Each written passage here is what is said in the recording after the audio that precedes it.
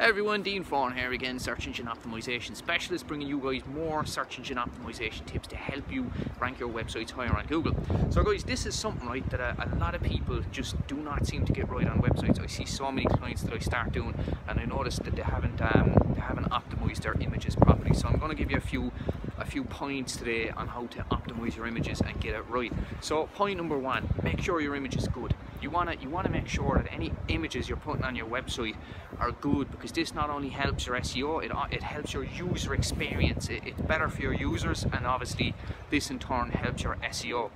Number two, make sure your images right are the right size that you're not uploading a 2000 pixel wide image for an area that's only 500 pixels wide and likewise don't upload something that's only 250 pixels wide into an area that's 500 because you'll, you'll end up stretching it Number three, before you upload your images, guys, honestly, try the image optimizer tool. There's plenty of them on Google. I'll put a little link down below. Make sure, for God's sake, that you upload, you you you, you optimize your images a little bit before you upload them because it'll it'll compress the size a little bit and hold the quality. So you you got to do that.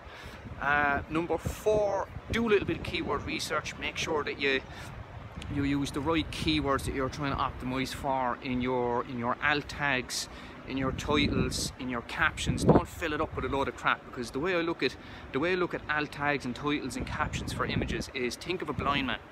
When a blind man goes on Google and they're they're googling a website or they're looking at a website or whatnot and they, they alt was actually created for people that had visual impairments. So I mean, if they're looking at a, if they're coming down through an image and it's like carpets, flooring, red carpets, Dublin, blinds, and you, you've a load of keywords wrote in there for the image, obviously they're not going to understand it. So you've got to think of this from that perspective when you're optimizing your images. So guys, I hope you go and use all these tips and get your images optimized and improve your search engine optimization.